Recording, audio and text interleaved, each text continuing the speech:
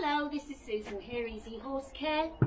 First of all, I would like to say thank you very much for all you people out there that have actually contacted us privately saying how concerned you are about the welfare of the animals in our care and for me and Rod also.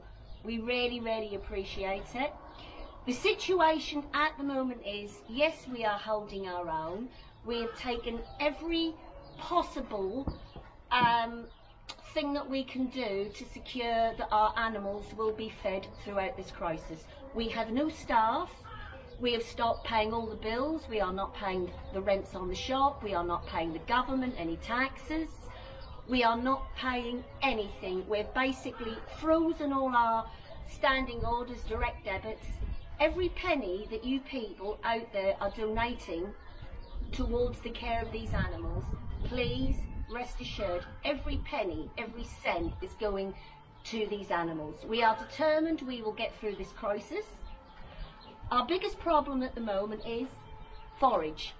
As you can see, the last video that we done, I believe was two weeks ago, we were saying that we had enough forage for probably three and a half, four weeks.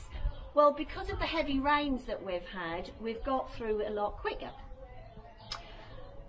And at the moment now we are trying to source, obviously, more forage that we are desperately going to need.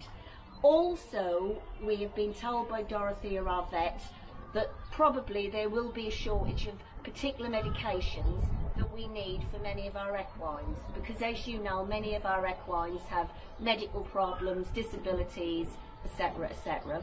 So we've also put in a bulk order through Dorothea for those medications to see us through for probably another six months because nobody knows how long this crisis is going to continue. So I would just like to say as always, thank you, thank you, thank you for your support, your kind words. We are absolutely fine, we are coping, we're both very, very strong minded people and we are relatively physically fit. Yes, we have 33 stables that we're having to out every day. Um, and obviously all the various things that we're doing. The weather has made it harder because obviously now the horses are all having to come in at night, out during the day, etc, etc. But we are getting through it and with your help we will survive and all our animals in our care will also. So thank you very, very much for all your lovely words to us. Believe you me, we really do appreciate it.